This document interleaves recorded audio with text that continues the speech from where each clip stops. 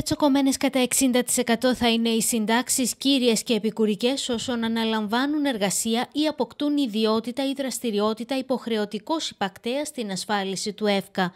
Αυτό προβλέπει ο νέος ασφαλιστικός νόμος, ο οποίος ξεκαθαρίζει ότι όσοι αναλάβουν εργασία σε φορείς της γενικής κυβέρνησης, δηλαδή στο δημόσιο ή στους Δήμους, η καταβολή της σύνταξης αναστέλλεται. Να μας πούνε λοιπόν ορθά κοφτά ότι ξέρετε κάτι; Παίρνετε μια σύνταξη η οποία είναι αξιοπρεπής, σε αυτά νοιαζίζετε και η εργασία κομμένη, να ανοίξουν και θέσεις εργασίας. Αλλά αυτοί όχι μόνο θέσεις εργασίας δεν θέλουν, αλλά και αυτούς που δουλεύουν τους θέλουν από ήλιο σε ήλιο και με μαύρα.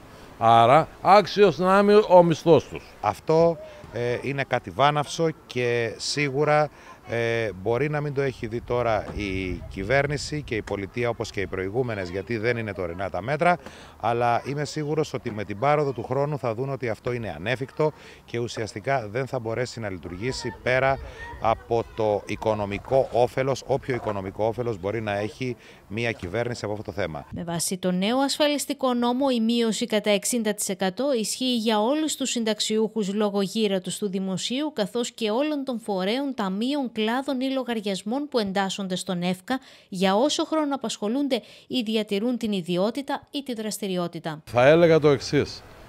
Να την κρατήσει όλοι. Αλλά να ο συνταξιούχος να έπαιρνε όλη του τη σύνταξη όπως ήταν και να μην την πειράζανε. Ό,τι δικαιούται. Έτσι.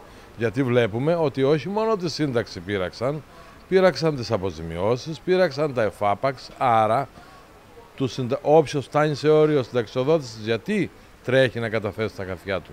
Γιατί θα τον πάνε στα 80 σύρεξέσυρε.